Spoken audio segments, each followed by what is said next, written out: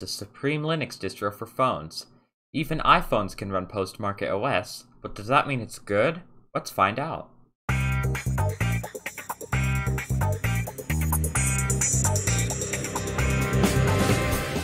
The history of Postmarket OS is not very interesting.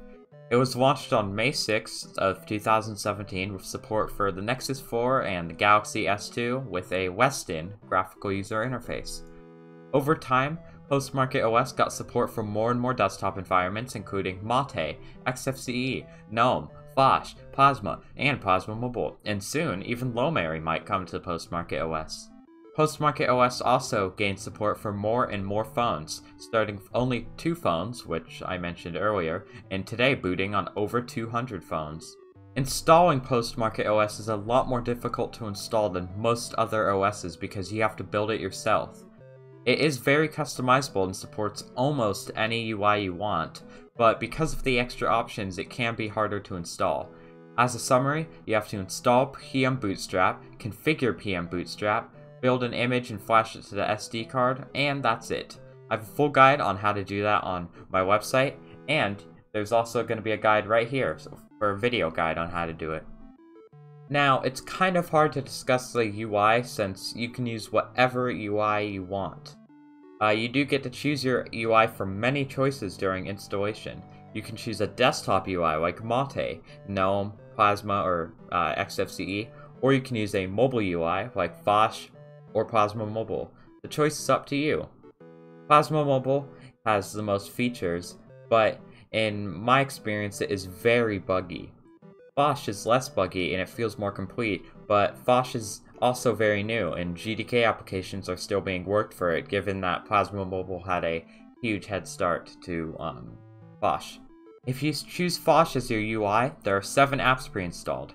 A phone and messaging app, GNOME Web, Cheese, extensions, files, settings, and a terminal emulator.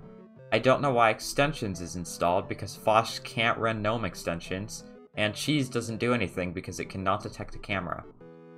There also isn't an App Store pre-installed, so you have to install GNOME-software in order to install apps without using the command line.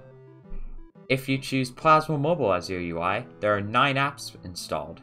File Manager, which is Index, uh, Kirigami Gallery, a phone book, Pix, Spacebar, which is your messaging app, a terminal emulator, a phone app, a web browser, and a camera app. Interestingly though, for some reason Plasma Settings does not come pre-installed by default, which means it's impossible to connect to Wi-Fi without using something like uh, NMTUI um, in a terminal window. Like Phosh, Plasma Mobile does not come with an app store, so if you want a graphical user interface for installing packages, you have to install Discover. If you install Postmarket OS Plasma Extras instead of just regular Plasma, you'll also get a note-taking app, a XMPP slash Jabber client, a public transport app, a text editor, a document viewer, a music client, a email client, and a calendar.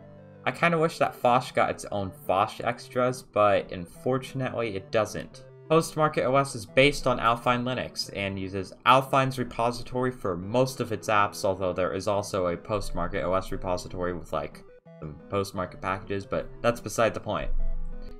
There are a lot of apps missing on Alpine Linux repository, so you're going to have to use Flatpaks for them, despite Postmarket OS not officially supporting Flatpaks.